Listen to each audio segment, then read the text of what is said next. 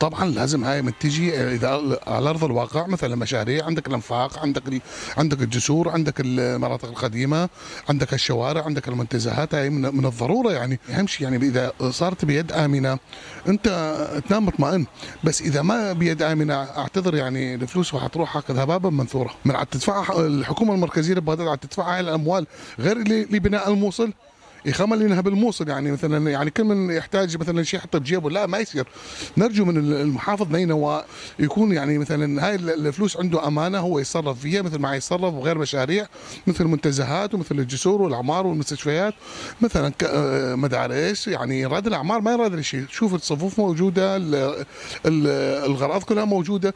ويرادوا مسته على باب شتاء مثلا تدفئة وتبريد مثلا على الصيف من نشرات الضرورة المدارس. المدارس أهم شيء قلت لك الأولوية أهم شيء الأولوية مثل المستشفيات والمدارس والجوامع هاي ضروريه وإحنا نبقى ممنونين يعني من الإنسان الشريف اللي يشتغل عدل. والله كل مشاريع المحافظة تحتاج تحتاج كثير يعني مثل محطة القطار مثل المعامل عندنا معامل معمل السكر النسيج. يعني معمل السكر المفروض يعني ينجزوه حتى ياخذ أيدي عاملة كثيرة وهم مثل ما كان قبل ينتج يعني السكر والخمرة وكل شيء يعني. والله عندنا يعني كفاءات يعني زينة موجودة المهندسين يعني كثير بس ما ينطون يعني الفرصة حتى ينجزون أعمالهم وينطوهم الشيء اللي يستحقوه يعني. اكو لجان لازم مختصة تراقب هاي الإنجازات حتى لما تشوف أي خلل مثل نزاهة ما نزاهة.